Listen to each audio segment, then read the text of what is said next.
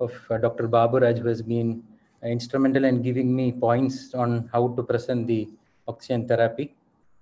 And uh, coming to this uh, wonderful uh, Nobel Prize that was given to two, given to the three doctors, Kaelin Ratcliffe and Professor Semenza, for identifying how cells respond to varying oxygen levels in the body. So they found out that each cell has a sensing mechanism by which they can uh, respond to varying concentrations of oxygen in the blood and how each cell responds is by a genetic mechanism which the three of them independently discovered and uh, got the Nobel Prize in 2019.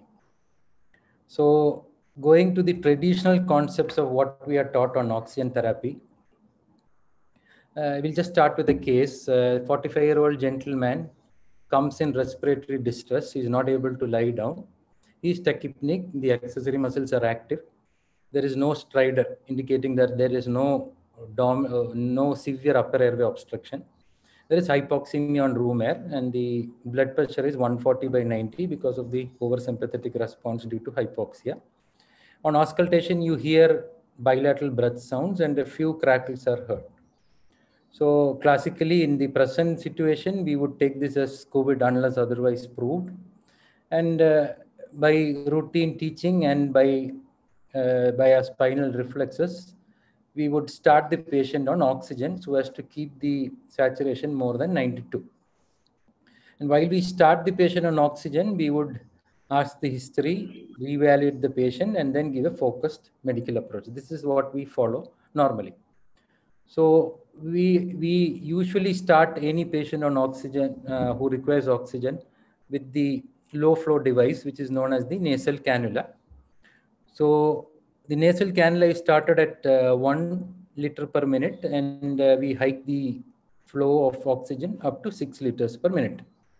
So 1 liter is approximately believed to give a fraction of inspired oxygen of around 24 and the 6 liter is attributed to give an oxygen concentration of around 44%. So it's around 24 and reach up to 44, provided the patient's inspiratory flow demand and the minute ventilation that the patient is, is reasonably uh, at, at a, a, comfortable rate. Now, suppose this patient takes a, has a high minute ventilation and is a high, uh, the ventilator requirements are very high, what will happen?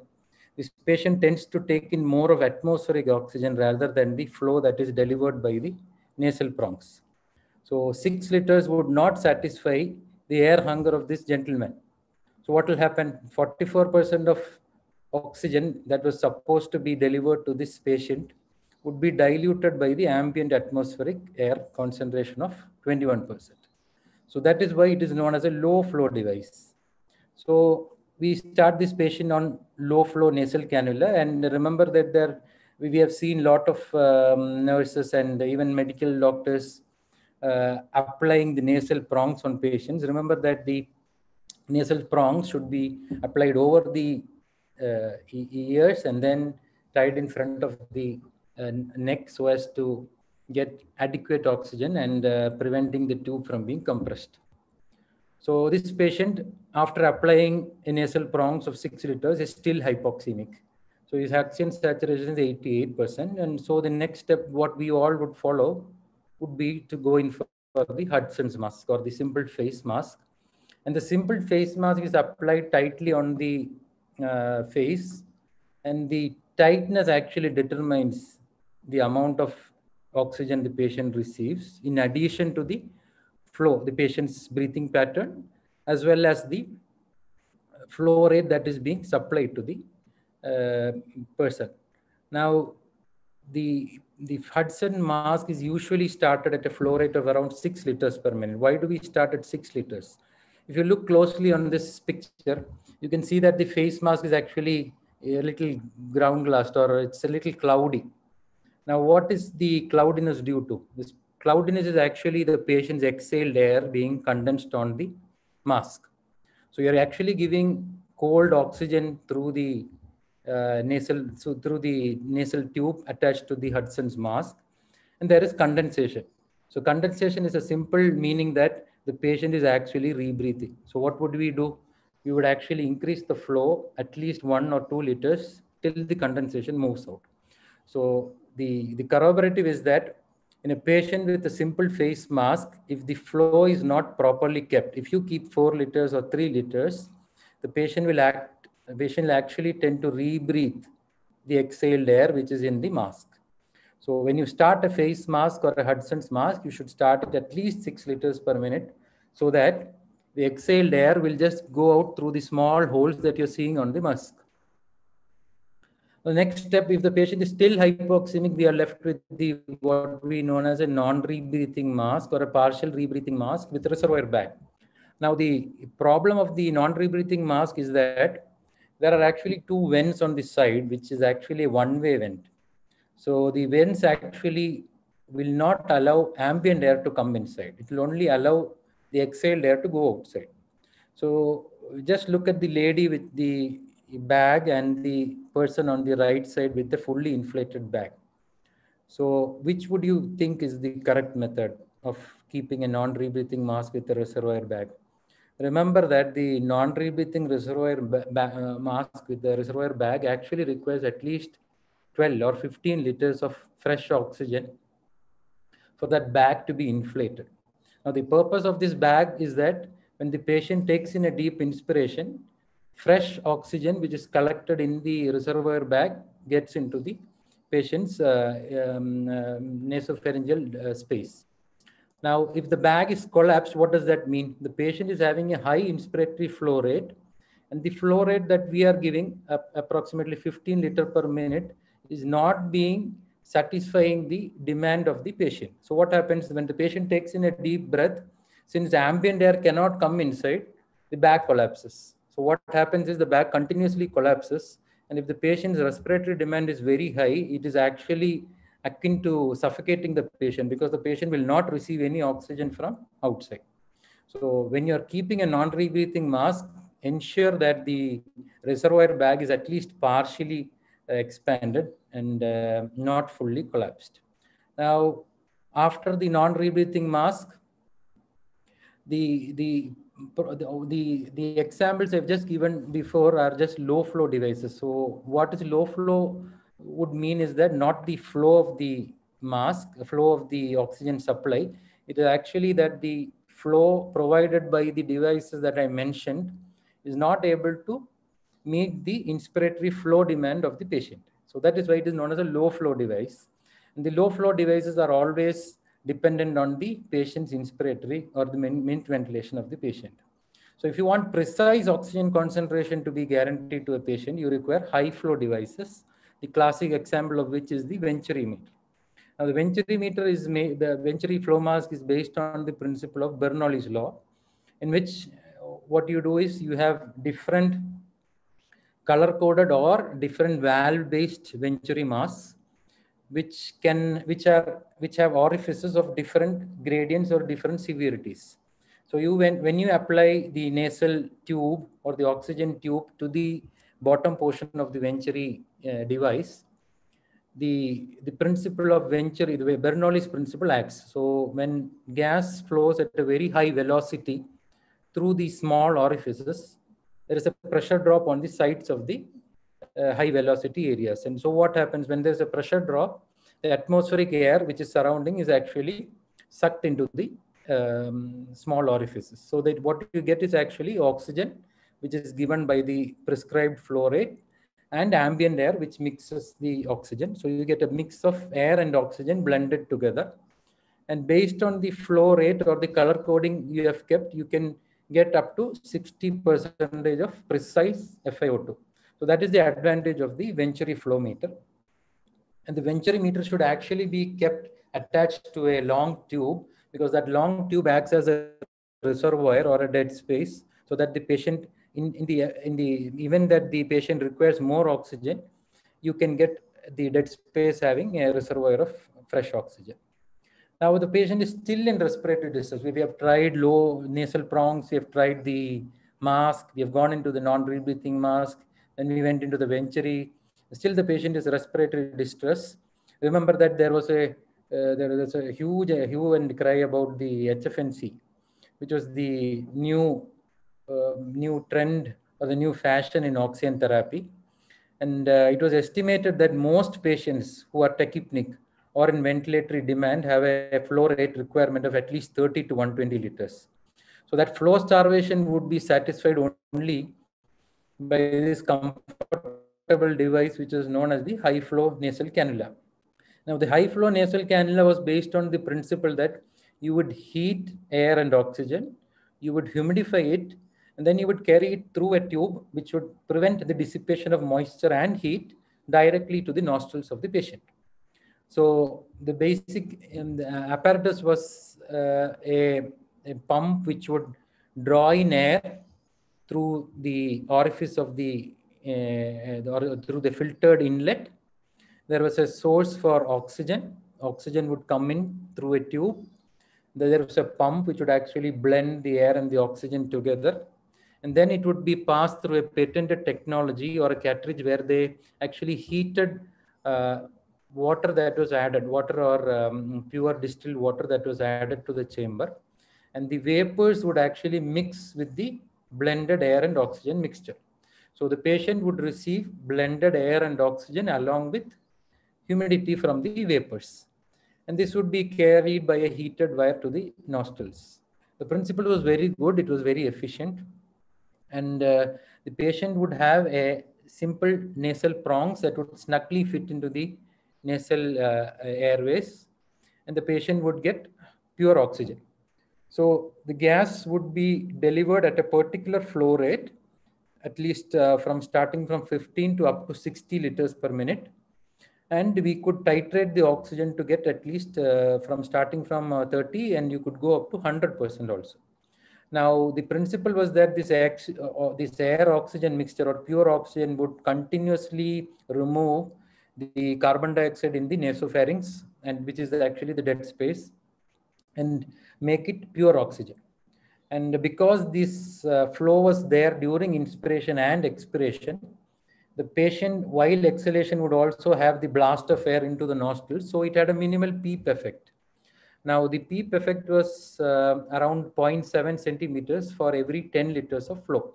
So on average, you would get around five or six, uh, maximum of uh, 5.5 uh, centimeters of PEEP when the mouth was closed. And when the mouth was open, it would actually cycle out. So the, the humidification also ensured that the patient's secretions would be easy to be brought out. So basically, you would set the temperature. You would start with a flow rate of around 30, which is the flow of the oxygen combined with the air from the machine. And then once the patient's inspiratory flow hunger or the inspiratory air hunger is maintained or uh, is satisfied, we would, and if the patient was still hypoxemic, we would slowly increase the FiO2 so that the oxygen is maintained along with the inspiratory air hunger. And that was the principle of the HFNC cannula. And so what was the beauty of the HFNC? We would get remarkable results immediately. So on an average, the the, the, the respiratory rate would come down by within five minutes of keeping an HFNC if the patient was responding to an HFNC machine. Uh, the oxygenation would improve by 15 to 30 minutes. Dyspnea would come down. The accessory muscles would become less active. So it was a, basically a good device or a good oxygen therapy device. And objectively, we would monitor whether the patient was responding by using the ROX index, which was actually the SpO2 FiO2 ratio divided by the respiratory rate. And we could predict whether the patient would require the next next uh, level of therapy, that is the non-invasive ventilation or uh, intubation. And so you could objectively say whether the patient was responding or not responding. And there was actually predicted uh, scores for, uh, example, if the ROX score was less than 2.85 two hours, that would indicate that the patient was going in for uh, ventilation. Now, the problem with the ROX score is that you're only taking into account the respiratory rate. For example, if you are not, if you are uh, in the pre-COVID era or in the, the, the time when COVID started, we, we were actually literally afraid to go into the ICU also sometimes. Some people never used to go into the ICU and so they would uh, remain outside. So if the sister is recording or a patient who is a person who is not very adept at uh, measuring or seeing the patient's respiratory rate and grasping that the patient was having an high work of breathing, the only thing they would do was to measure the respiratory rate because work of breathing is not taken into account in ROX score. So the checkpoint is that if the patient is having, in spite of an HFNC, the objective ROX score is showing a deterioration or the respiratory rate is increasing, the patient saturation is not being maintained, there is a sympathetic response, then it would indicate that this patient is failing in HFNC and you would have to go into the next device, which was commonly the non-invasive ventilation, which was widely used. And if it was preferentially hypoxemia, what we used to keep was the CPAP device. So we would keep a single pressure of um, uh, CPAP, which was delivered through a non-invasive mask. And, uh, and, and the, due to COVID, there have been certain modifications in the mask, but uh, since now we have COVID ICUs where the aerosol is shared, I think uh, there is no logic in keeping these masks. So you can keep a non-vented or a vented mask uh, depending upon the type of device you are using. And the pressure is increased up to at least uh, from starting from 5, you can go up to even 20 centimeters depending upon the patient's tolerance. A CPAP pressure will actually splint up the proximal airways up to the distal airways, keep the alveoli open, and also act as a ventricular boost by improving the left ventricular cardiac output. Now, the problem with the non-invasive ventilation, especially in the COVID era, was that you had to give continuous positive attention to the patient because the marks were always on the patient's face and the there was no time when the patient could remove the mask. And so what happened was that uh, most of the patients were left with the defiguring scars because of the excess pressure that was applied to the face mask. So ideally by virtue of guidelines what we follow is that even if the patient unless the patient cannot even um, remove the non-invasive mask ventilation for feeding we would allow gaps for at least 10 minutes every two hours so that there is there is prevention of uh, ischemia to the mucosa of the face. So till now we have uh, dealt with the story that uh, the patient would be started on a low flow device like the nasal prongs. We would go into the Hudson's mask, then we would go into the NRBM and the still if the patient was hypoxemic, we would try a combination of uh, nasal prongs along with the HFNC, so I mean the uh, NRBM mask we would go into the HFNC machine and finally would end up in the CPAP device. Now, because of COVID, we would also keep masks, surgical masks over the devices so as to prevent lateral dispersion of the aerosols. Now, May 2021 and everything changed. The second uh, wave of COVID and probably the third wave of COVID is coming. Uh, we the traditional concepts that we were taught that you have to start with that, you have to go with this, you have to titrate up, everything actually came down because we would start with face masks. Any patient with hypoxemia, we would start with face mask. The patient wouldn't tolerate a face mask. We would go into an NRBM and then we were literally depressed. We would start whatever that is that, that whatever was, was available in hand, we would go in for the venturi meter and we would have patients with so high inspiratory demand that most of the NRBM mass would start collapsing. And uh, then came the importance of oxygen conservation. So literally we were being taught that you should start oxygen, you should keep high flows. And then came the acute shortage of oxygen. Uh, concentrators were even uh, costlier than gold a, a, one week uh, requirement of concentrators were charged around 50,000 in Delhi. And people were queuing for oxygen cylinders because most of the patients for COVID were actually maintained at house using oxygen cylinders. So then came the, uh, when uh, most of these got exhausted, then came the exhaustive availability of uh, these portable oxygen devices. They, had they were available in 6 to 10 liters and because the patients were crying for oxygen, these were given via masks and patients used to give get a puff of oxygen so as to satisfy their demand. And uh, understanding the situation, the Supreme Court gave a, a, suggested that all hospitals, all institutions should have an oxygen need and oxygen determination formula so that their oxygen sources do not get depleted and they would have a surplus quantity always. So these are the concepts I think we need to learn.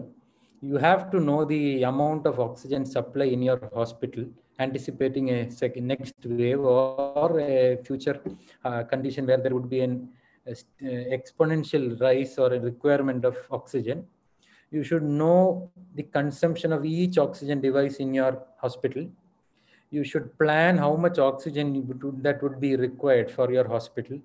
You should know how much a cylinder would last and uh, how much reserve you would have how you can conserve oxygen and uh, oxygen is a, is actually a drug with uh, volatility so it is a combustion it is a, it, it is prone to combustion and so you should be knowing about the fire and safety measures also when you're dealing with oxygen now i actually bore, bore down before trees and plants because in spite of us being so knowledgeable creatures we still do not know how plants create oxygen. Uh, the technology is still known and uh, we actually lag behind. If we had known this technique, uh, oxygen would have been, uh, oxygen therapy and oxygen availability would never have been so uh, uh, difficult. So I'm just going into the common ways of or common procedures by which each hospital gets oxygen. So the most common technique is known as the fractional distillation technique. It is known as fraction because you are sucking in air, you're actually compressing the air, then you're actually reducing the temperature of the air, passing it through different chambers which will absorb carbon dioxide impurities. And then once you reach a expansion turbine, we can see that blue arrow. I'm sorry, my um, pointer is not working when you reach the expansion turbine, what you do is the air is actually expanded and cooled above the boiling point so that the air becomes liquefied. Now this liquefied gas is actually taken to a chamber and slowly the temperature is increased. Now what happens when the temperature is increased? This liquid which contains nitrogen, oxygen, helium or dif different gases based on the different boiling points will get evaporated. And this can be uh, sequentially taken or fractionally taken depending upon separate tubes which are applied at different areas of the main cylinder. So liquid oxygen would boil at around one minus 185 degrees Celsius. So when you apply minus 186 degrees Celsius, 184 degrees Celsius, the liquid actually oxygen would start boiling and it would produce vapors and the vapors can be taken out so as to get pure oxygen. In a similar way, nitrogen can be also uh, removed so as to get liquid nitrogen. So this is the commonest method of uh, by which we get oxygen delivered to our oxygen cylinders. And then you have liquid oxygen. You, have, you must have seen these liquid uh, tanks, these huge cylindrical tanks in your hospital. These are liquid oxygen um, uh, tanks, which are known as vacuum insulated evaporators. And uh, these cylinders are actually containing uh, gas, oxygen, pure oxygen, which is liquefied at a high pressure. And these cylinders have actually pipes which are connected to the central oxygen supply of our hospitals. Now, the pipes which connect these cylinders are actually uh, uninsulated or just normal pipes. So liquid is oxygen is actually in a very cold state or in minus 184 degrees Celsius. So whenever the central oxygen demand from the hospital or the valve is open, what happens is that creates a vacuum. Now the vacuum is uh, vacuum causes what the, the the liquid in the liquid oxygen tank to come out to the uninsulated pipes. Now these uninsulated pipes are actually in the will uh, will actually be surrounded by the atmosphere temperature. So what happens? The atmospheric temperature is around 37 degrees Celsius. Liquid oxygen is at minus 186 degrees Celsius. So immediately liquid oxygen becomes vapors and these vapors provide a continuous supply of gaseous oxygen to the central oxygen supply in the hospital.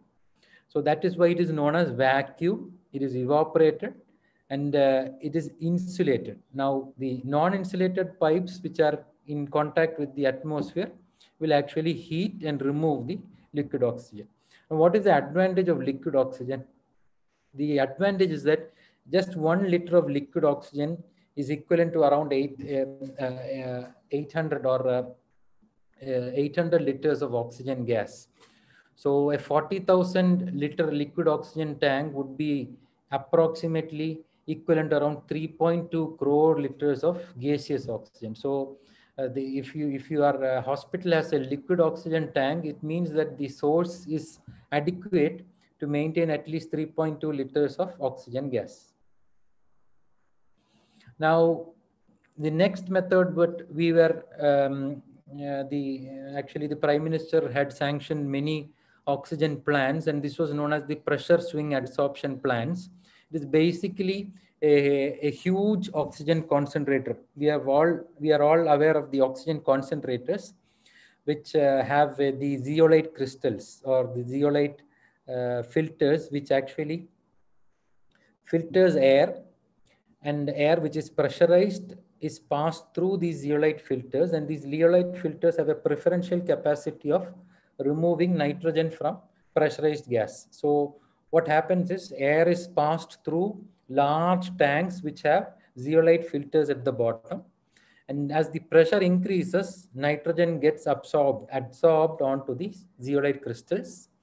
And uh, once the zeolite crystals get saturated with nitrogen, you can actually denitrogenize. You can actually reduce the pressure and uh, you get a high concentration of pure oxygen.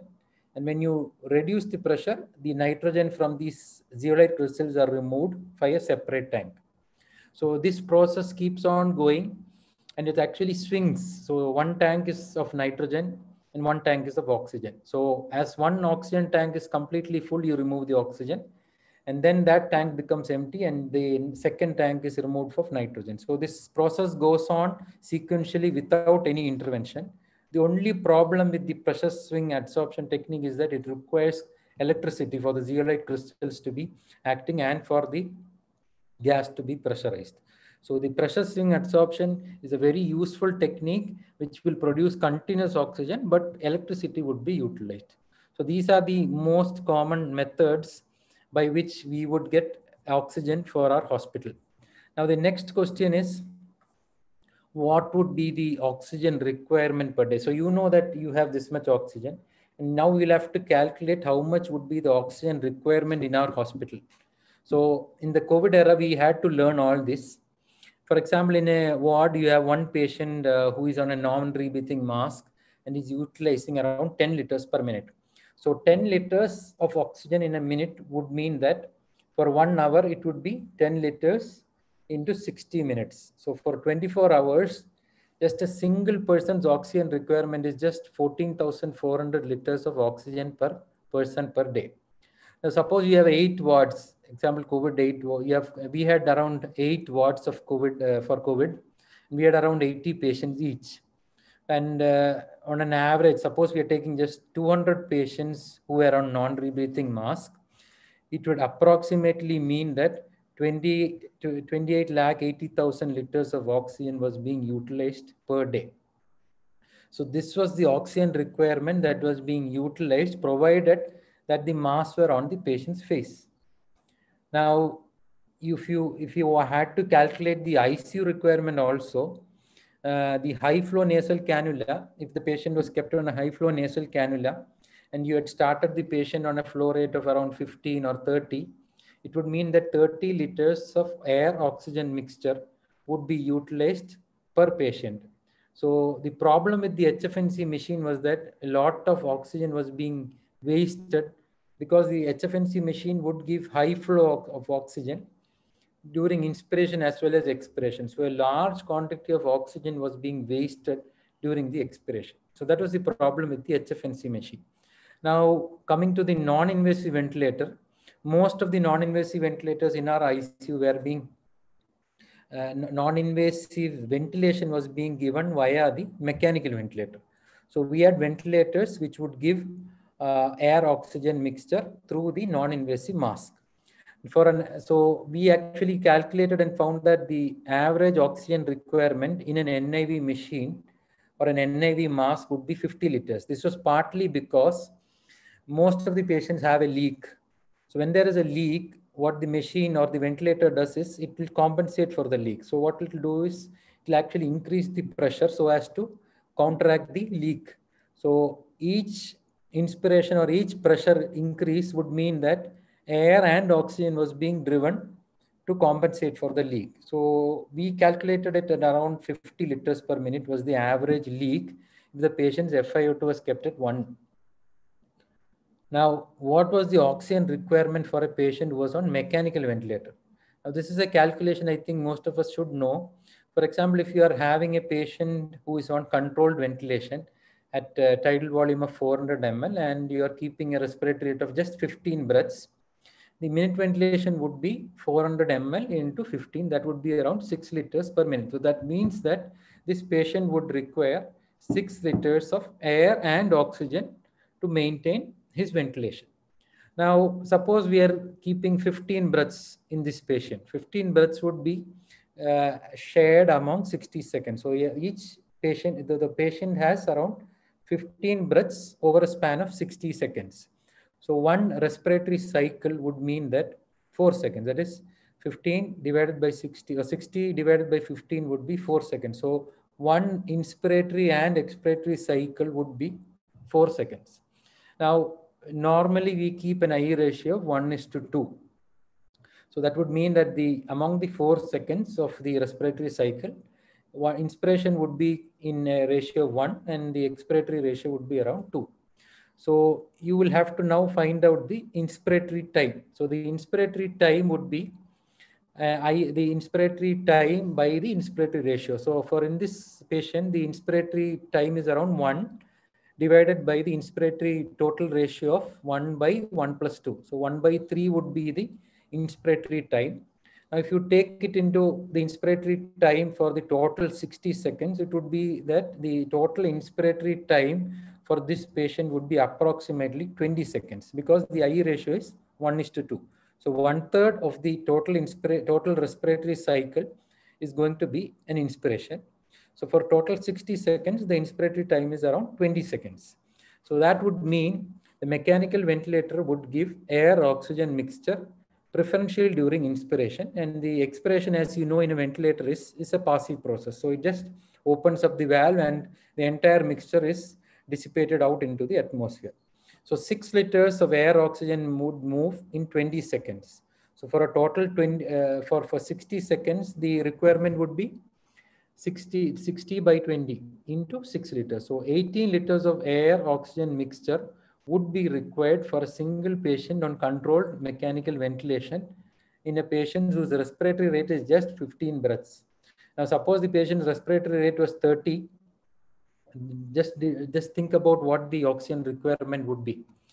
And this is when the patient's FiO2 is at 1 that means 100% of FiO2 now when you have the uh, oxygen source and uh, the oxygen supply suddenly the demand outreach the demand is outgrows the supply.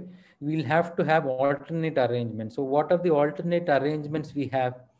The problem with the uh, alternate arrangements is that alternate arrangements are mainly these manifold cylinders. You must have seen these cylinders where we have these jumbo cylinders which are applied to using a small pipe to the central oxygen source and all the oxygen supplies are oxygen uh, cylinders are open so as to keep a continuous source of oxygen. Now the problem with these oxygen cylinders is that the, the, the pressure in the oxygen circuit should be at least four bars for most of the non-invasive or you know, most of the ventilators to function. So, so the problem with these manifold cylinders is that they will never be able to maintain a pressure of four bars. So once the pressure drops below four bars, most of our ventilators stop functioning. So we'll have ventilators showing a red alarm that the air pressure is low or the oxygen pressure is low. Now, that is the problem with the alternate supply of oxygen sources like the cylinder manifolds. And the cylinder manifolds can also be applied in COVID wards where each patient can be given cylinders at each uh, bed. Or what we can do is one of our engineers modified this.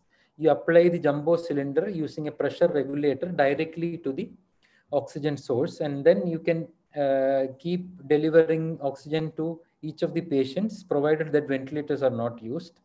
And as the pressure in the oxygen cylinder reduces, you replenish it with a new cylinder. Now, the next question is, you know that you have an oxygen cylinder.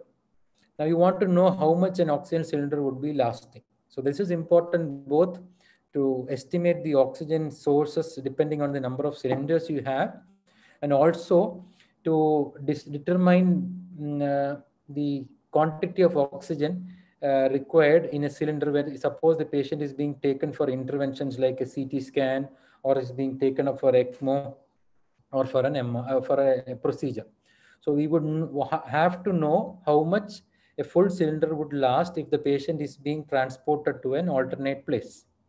So conventionally, there are different names for different cylinders. So we have been taught E, D, G, H, and K.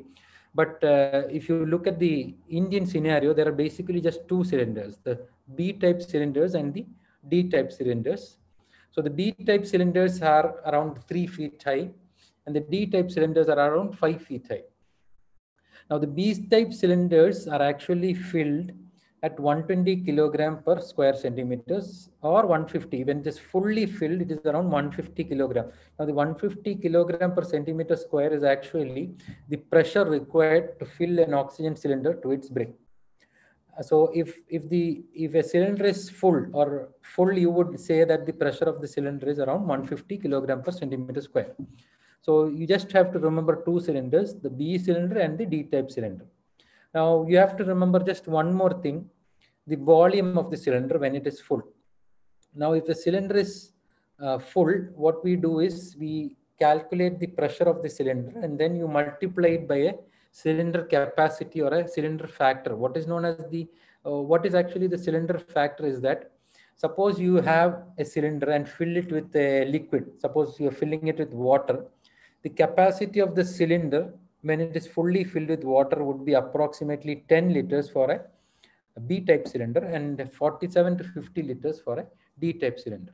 So we just have to remember the pressure. Now I'm standing near a B-type cylinder, which is uh, having a pressure gauge. You must have seen a cylinder with a pressure gauge on the gauge on the top of the cylinder. Now, the, if you look at the pressure gauge, you will see an arrow which shows the pressure of the cylinder. For example, in the cylinder, the figure I've shown, the pressure in the cylinder is around 110. So that would mean that the cylinder pressure is 110 kilogram per centimeter square. So a full cylinder would be 150. Now my cylinder is having 110 kilogram per centimeter square. Now the water volume, what I taught you is 10 liters.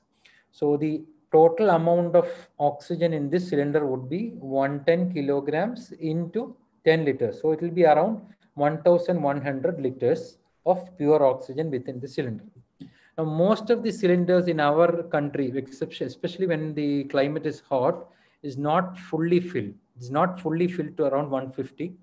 A factor, a volume factor of around 0.67, 0.7 has to be multiplied because the cylinders are just filled to 70 70% of the uh, cylinder capacity because there is a risk of expansion of the oxygen when the temperature is high.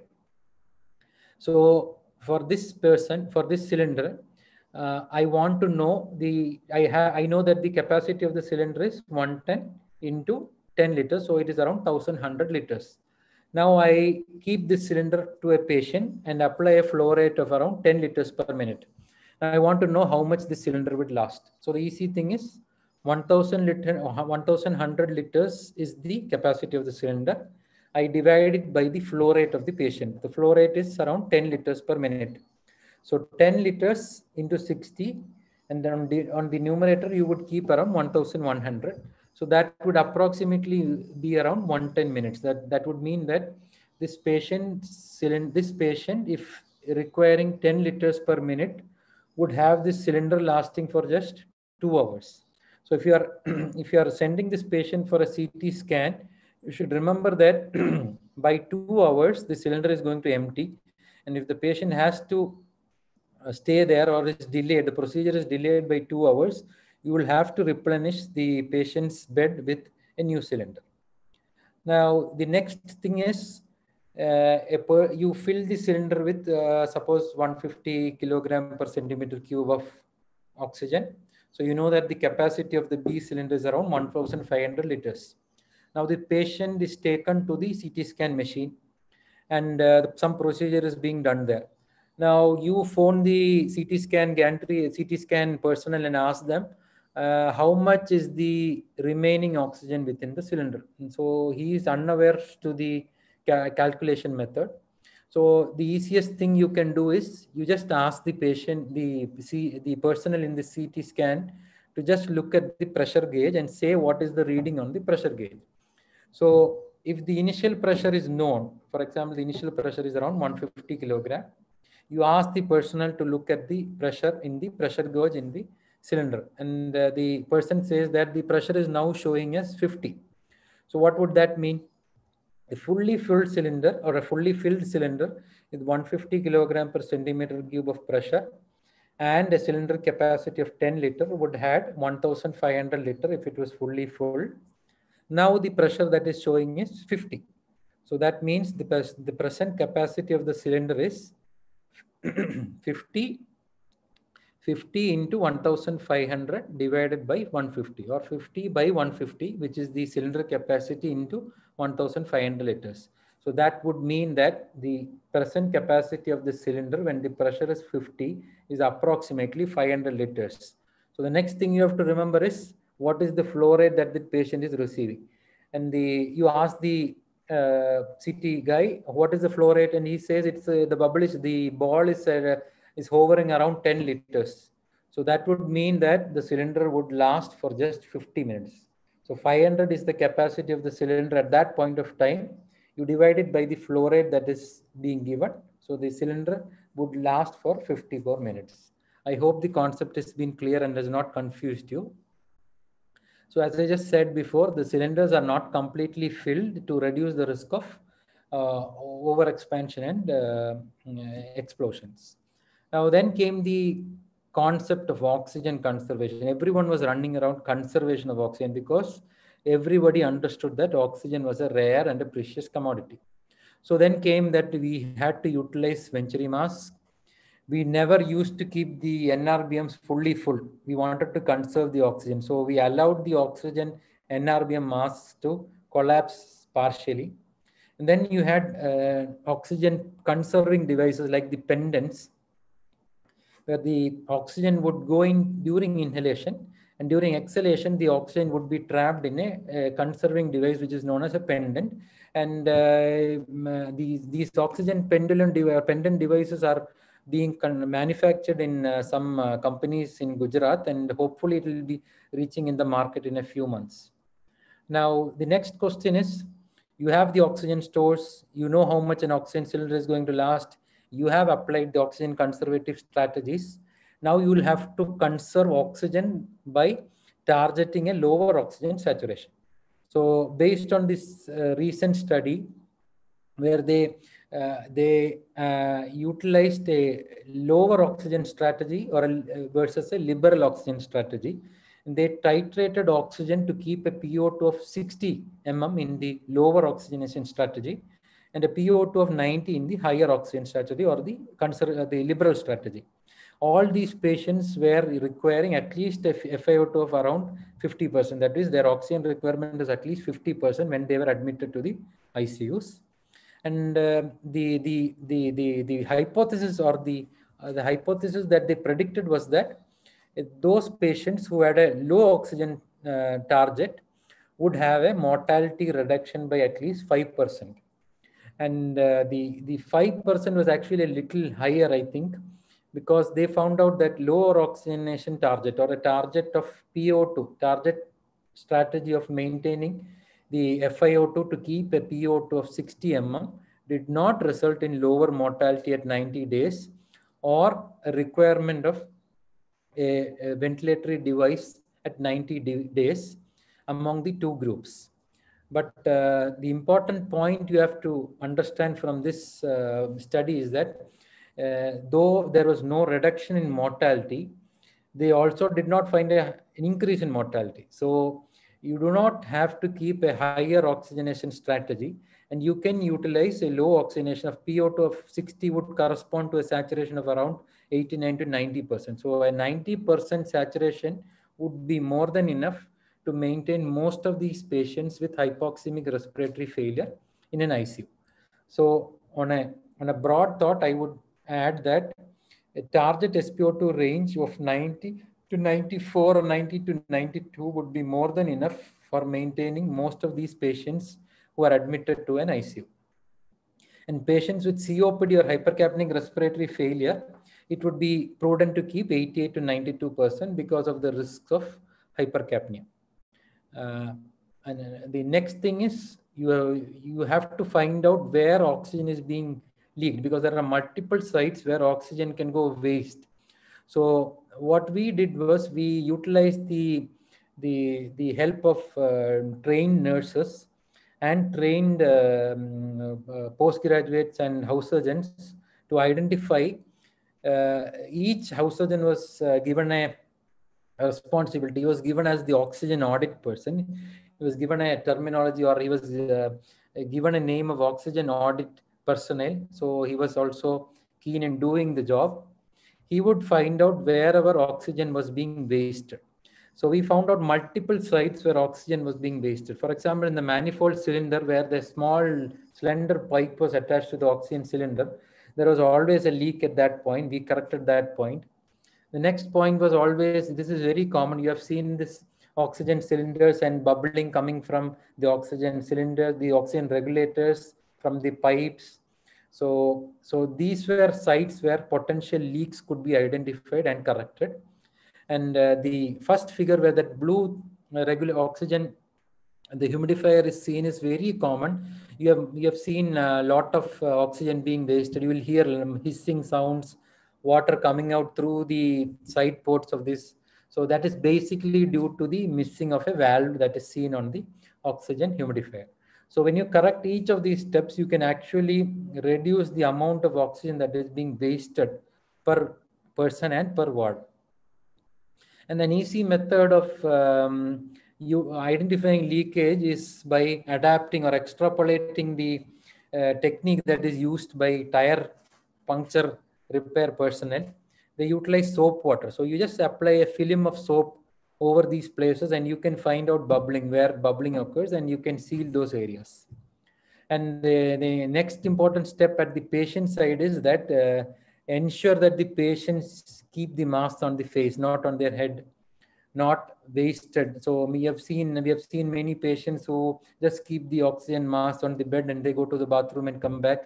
So try to reduce oxygen wastage at each level so that oxygen is conserved. Another technique that is um, said is to space out requirement. For example, in an ICU, there is a high oxygen requirement, and suddenly food is brought, and every patient is um, shifted from a ventilator device to a high flow NRBM device or an HFNC cannula.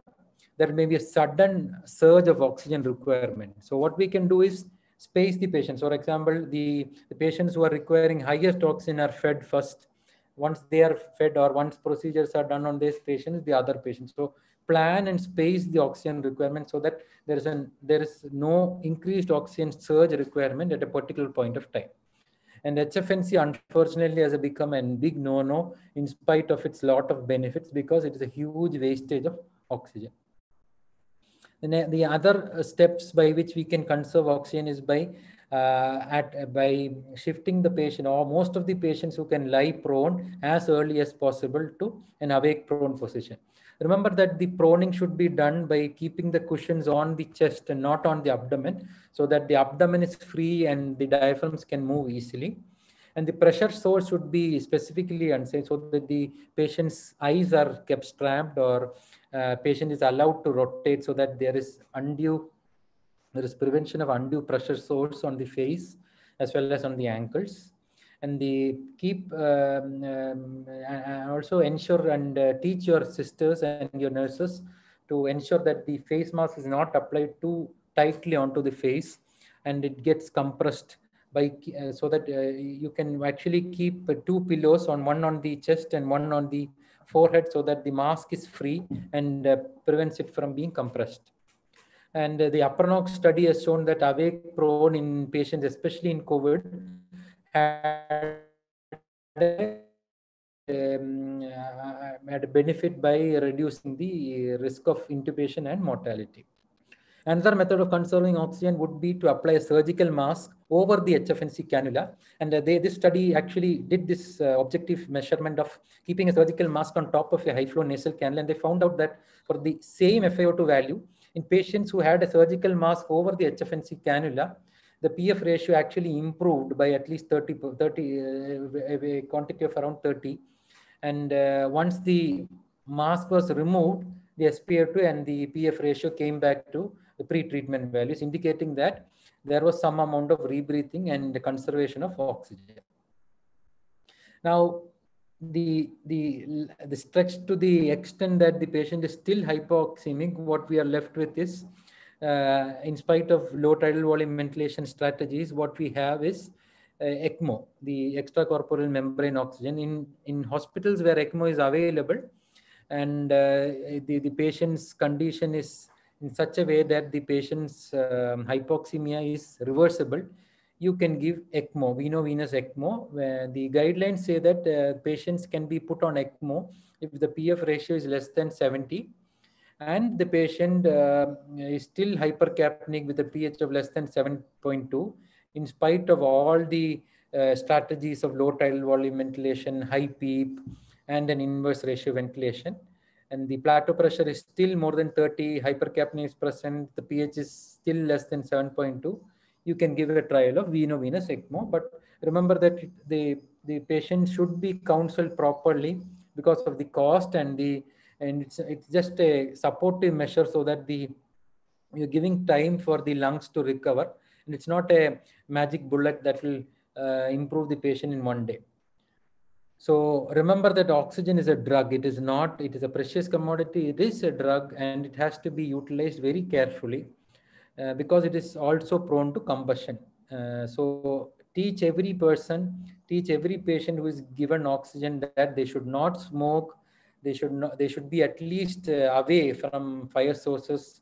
The sparks can actually increase the risk of combustion and producing a fire. This is actually one of our patients in Kottayam uh, this patient was uh, being done in a tracheostomy, post thyroidectomy, and uh, cautery was applied just when the patient was being given a FiO2 of around 60%, and immediately fire came out of the trachea. And uh, this is the problem of uh, intratracheal fires. You develop synechia, the mucosa gets denuded, and so always be apparent uh, aware of the fact that when you are applying any intratracheal devices and a cautery or a machine is applied, the FiO2 should always be less than 0.4. The other problem with oxygen is that hyperoxia is always a problem. So if you try to keep a saturation more than 96, it itself can produce denuding of epithelium, produce ARDS, mimic changes like COVID pneumonitis, and produce oxygen toxicity and ARDS. And especially be aware that patients of severe COPD, when given oxygen, should always be closely monitored to see that the saturation is not falling, their respiratory rate and their minute ventilation is not coming down, and the patient is not getting drowsier. That would all indicate that the patient is going in for a hypercapnic crisis because of hypoxemia. Now, we have all been traditionally taught that high oxygen in a COPD patient would actually reduce the hypoxic drive by actually abolishing the hypoxic drive in the peripheral chemoreceptors. But uh, this has as uh, this has been recently and uh, shown in a lot of studies that the the hypoxic drive is only around five percent of the explained cause for a hypercapnic response.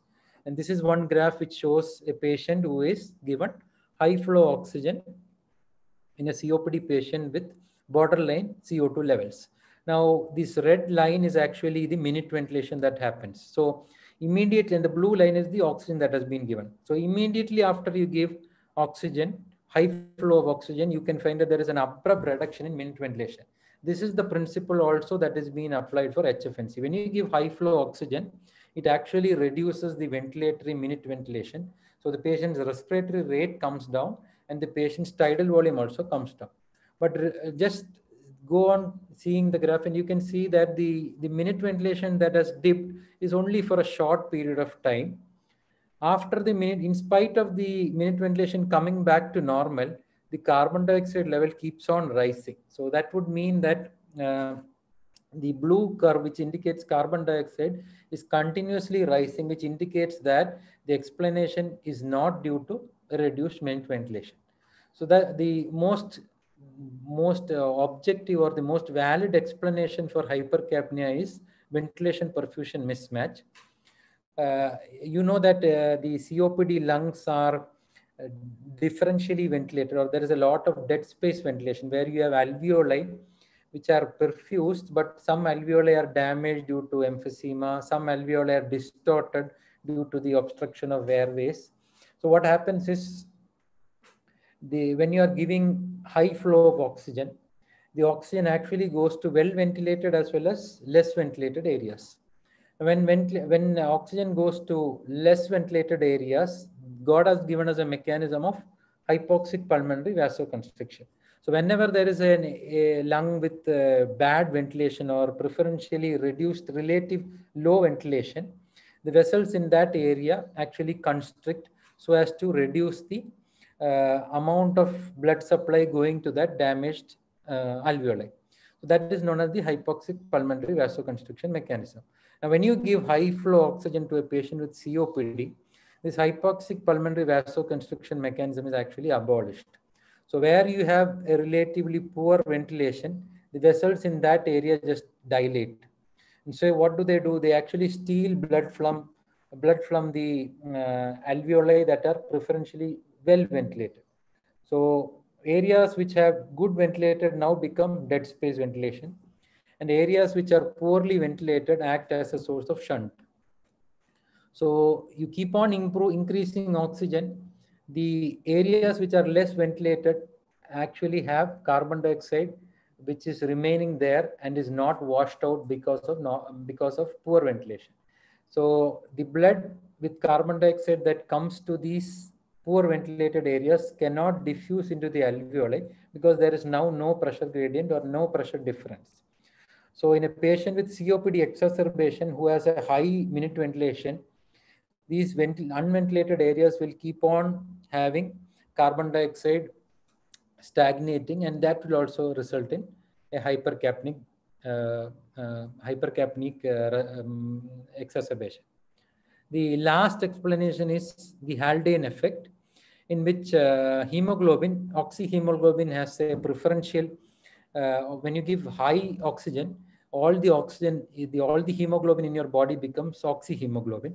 Now the oxyhemoglobin goes into the, the, the peripheral tissues and uh, in the peripheral tissues where there is carbon dioxide, carbon dioxide actually cannot diffuse into the, um, the RBC and bind to hemoglobin.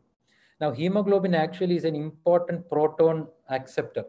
So only when carbon dioxide has a gradient and can bind with water using the carbonic anhydrase equation can diffuse or, or be um, converted into H plus ions and bicarbonate ions. So only when this step or when this cycle is continuously occurring would carbon dioxide in the tissues be removed into the blood. Now, what is the problem for H2CO3, which is a weak acid to, uh, to split into H plus ion and bicarbonate? The H plus ions have to be continuously removed. Now, who removes the H plus ion protons? It is actually hemoglobin. Now, when oxyhemoglobin comes, the oxygen should actually go into the tissues and get detached from hemoglobin. Now, this hemoglobin, which is devoid of oxygen, is known as deoxyhemoglobin this deoxyhemoglobin should actually attach to the protons. So once it attaches, the, attaches to the protons, you can see that the cycle on the left side is actually shifting to the right. So more carbon dioxide is able to come be, be converted to H2CO3 and more H plus ions can occur. Now, when you give high flow of high concentration of oxygen, the oxygen as a preferential uh, preferential um, binding with hemoglobin and it does not detach. So H plus ions cannot bind to hemoglobin. Carbon dioxide cannot diffuse into the circulation. So carbon dioxide actually binds with hemoglobin alone, See carboxyhemoglobin. And because there is only a small amount of hemoglobin left, uh, without oxygen, the amount of carboxyhemoglobin is also going to be less. So what happens? You have a lot amount of hemoglobin. The carbon dioxide in your tissues and your blood cannot reach into your lungs.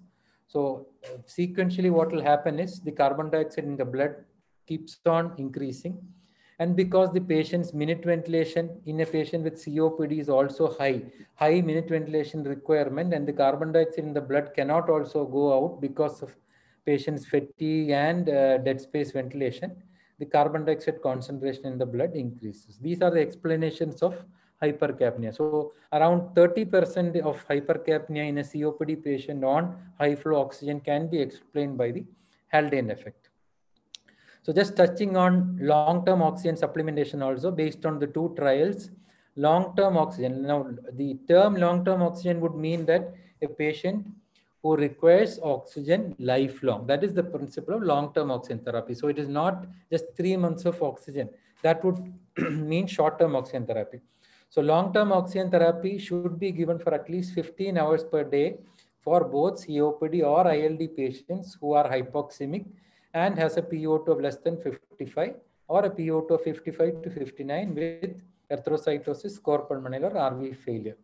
The, the latest ATS guidelines 2020 uh, who prescribe, who have uh, advised on home oxygen therapy have also said that you can give oxygen in persons who have resting hypo, who have resting hypoxemia along with exercise desaturation as a portable source. You can also give oxygen in patients who desaturate during sleep or desaturate during exercise. So as per the ATS guidelines, you can give supplemental oxygen for these two groups also. Now, remember that all patients who have been um, prescribed oxygen therapy immediately after an exacerbation should be reevaluated at least within four weeks so as to reiterate the need of persistent oxygen therapy as a cause for his hypoxemia. Because many patients will tend to have multiple problems. They would have had a pneumothorax, a pulmonary embolism, infection, pneumonia, as a cause for hypoxic oxygen requirement. And most of these conditions get to revert back after four weeks. And you should reiterate that the patient requires persistent oxygen therapy after four weeks. And after four weeks, if the patient still requires oxygen, you have to reevaluate at least after 12 to 16 weeks, uh, by which most of the COPD patients would, uh, around at least 50 to 60% of COPD patients would come over the oxygen requirement. So four weeks of discharge and at least at four months, you have to reevaluate the patient uh, and see whether the patient requires persistent oxygen requirement. And all patients on long-term oxygen therapy have to be reevaluated every six months at least to see that they, they fulfill the need for oxygen. So concluding, oxygen usage has to be modified with changing times Non-rebreathing mask and Venturi mask are the most useful of the oxygen devices. And avoid high flow nasal cannulas whenever it is possible. You have to know the oxygen calculations, including the amount of surplus oxygen, the oxygen cylinders, how much oxygen a cylinder would last, and the oxygen requirement in the event that the patient is being transported. You have to conduct oxygen conservation audits and conserve oxygen as much as possible. Teach about fire and safety to every medical personnel, including the house surgeons, grade four workers, nursing and healthcare workers. Monitor continuous need for oxygen at least at four weeks and at six months for all patients who have been prescribed on long-term oxygen therapy. Thank you so much.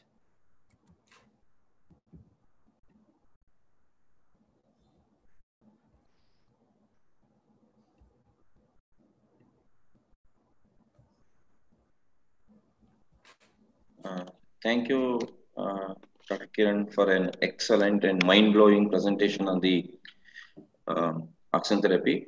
Especially, we all have gone through, I'm sure, gone through the calculation of uh, liquid oxygen to gaseous oxygen in terms of liter and what is the consumption. In fact, uh, we got a uh, memo from the DC to calculate what is the oxygen uh, requirement per day based on the that times uh, number of ICU patients and uh, and uh, what is the conversion of liquid oxygen to gaseous oxygen in terms of liters. Uh, and that those things were actually uh, not described in the textbooks also and it is very difficult to understand also. So the most difficult part and less touched part has been explained in a very lucid and then uh, we all understood it. Uh, thank you very much. Thank you thank you so much any questions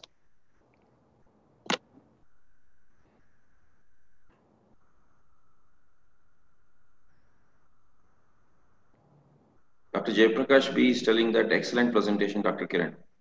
Thank you. In the chat box. Sir, thank you, sir. Any questions?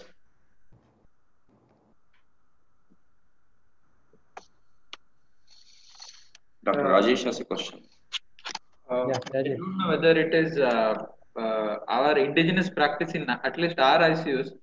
When the person requires nebulization, sisters just just attach yeah, the nebulization mask to the uh, wall mounted uh, oxygen blender and increase the flow rate. Uh, while it may significantly increase oxygen consumption, does it really serve the purpose of nebulization? Is there a same similar practice have you seen in your place also?